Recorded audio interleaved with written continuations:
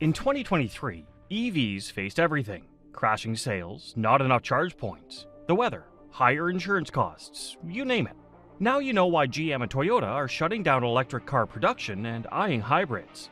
The EV has been sacrificed at the altar of the climate agenda, taking the blame for society's woes. So, will we see a course correction in 2024? Let's see. Americans are falling in love with hybrids. Since the EVs crashed, secondhand prices, there have not been enough charge points, there's been cold and hot weather, higher insurance costs, higher charging costs, higher parking costs, reliability issues, rain, winds, cats and dogs, etc. Why don't car companies want to make them instead of EVs?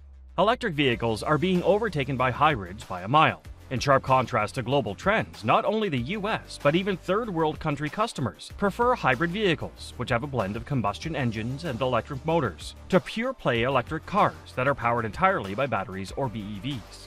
They like to settle for an intermediate technology and familiarize themselves with alternative fuel before going all out for EVs.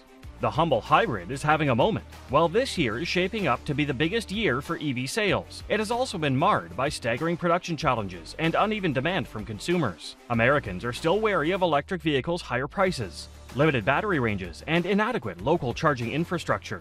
As a result, some car makers are calling back their electric sales goals, battery plant plans, and even the tough love they once had for car dealers reluctant to go all in on EVs. Meanwhile, hybrid sales are growing at a rate that slightly outpaces EV growth, according to the U.S. Information Administration. Hybrids now make up nearly 10% of new car sales, a proportion that's more than doubled since 2020. Unlike EVs, hybrid EVs burn gasoline and create tailpipe emissions, but they generally create far less tailpipe pollution than their purely gas counterparts. The latest Toyota Sienna minivan, for example, comes only in hybrid form and has nearly half the CO2 emissions of its non-hybrid predecessor. Given this surge in popularity, you might think that every carmaker would be eager to offer more hybrids to customers who are looking to lower their carbon footprint but who feel unable to make the full leap to EVs, which you might call the hybrid dilemma. Faced with enormous costs pivoting their business, the auto industry can't decide whether hybrids are a bridge to an all electric future or a dead end. At some point, Americans may still want hybrids while carmakers have already moved beyond them. The problem carmakers face is that hybrids involve all the complexities of internal combustion and battery power put together. Building them takes a lot of time and a lot of money. Sam Fiorani, the vice president of the industry research firm Auto Forecast Solutions, said but a lot of their money is focused on electrifying vehicles. Diverting some of that money back into hybrid powertrains slows your transition to where you ultimately want to be.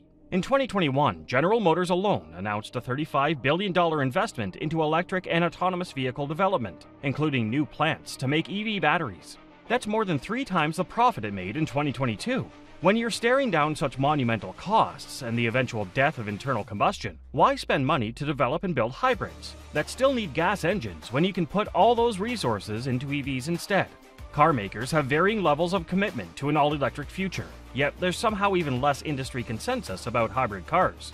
Some hybrids work in much the same way as the original Toyota Prius from 20 years ago, combining a traditional gas engine with an electric motor. Others, like Tramon's Chrysler Pacifica, can plug in to charge just like an EV. Take Ford, which recently dialed back its EV on goals and is focusing more on hybrids. Ford is doubling the production of its hybrid model F 150, for example, which is proving to be more popular than its fully electric sibling. Then there's Stellantis, the parent company of brands including Jeep and Ram, which builds America's best selling plug in hybrid car while also offering some EVs. The high EV champion is still Toyota, it recently announced that the ubiquitous Camry sedan would soon be offered only as a hybrid as the company moves to basically hybridize its entire lineup of cars. But GM's CEO, Mary Barra, has said that the plan is to skip a half step and bypass hybrids entirely to go straight to EVs. Volkswagen has been similarly reticent on the hybrid front and is still debating whether to sell them again in America. After discontinuing one hybrid recently, Subaru is set to offer just one other option, the upcoming Forester Hybrid, but that won't even be on sale until 2025.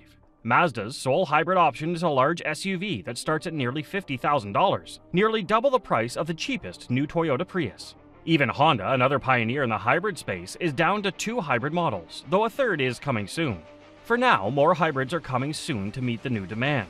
That includes a broader lineup of hybrid Toyota SUVs, as well as more novel cars like the 2025 Ramcharger, a hybrid with a V6 engine that is more like a full EV than every other gas burning truck available right now. Perhaps more automakers will hop on the hybrid bandwagon until most, if not nearly all, gas burning vehicles have some form of electric power.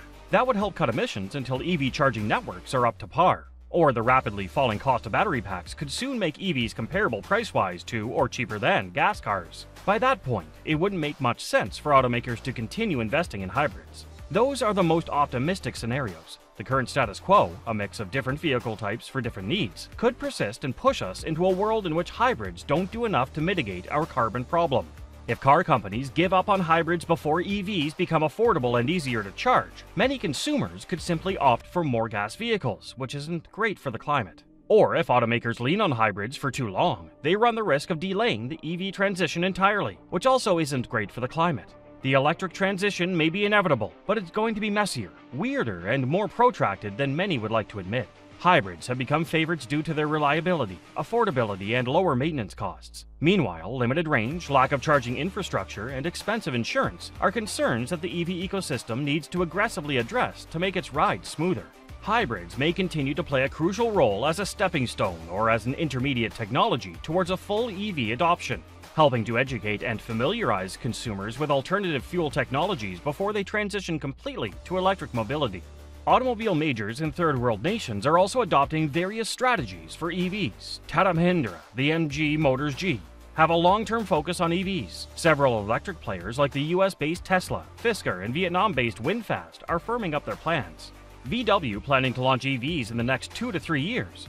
Meanwhile, Maruti Suzuki, which is a leader in internal combustion and hybrid cars, and Toyota, which has launched hybrid models as an intermediate step, will eventually launch electric vehicles.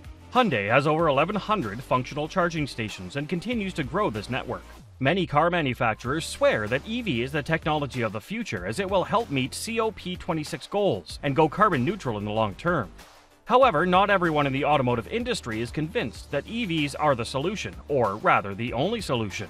Electricity generation in India is largely through thermal means, and hence EVs don't help further COP26 objectives. Also, there are functional transportation needs in a growing economy. EVs, with their high cost of acquisition and lack of charging infrastructure, have limits in addressing this requirement, says a senior official of a car company. Akio Toyoda, chairman of Toyota Motor Corporation, recently said that the EV industry was coming to realize that there isn't a single answer to reducing carbon emissions. Toyota could be right. While the auto industry continues to pursue electrification, EVs will coexist with other technologies, such as ICE and plug in hybrids.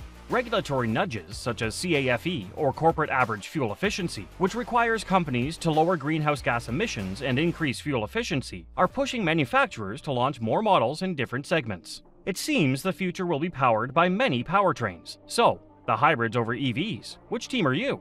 Team Hybrid or EV? Comment your thoughts and share the video. Don't forget to hit the like button and subscribe for more.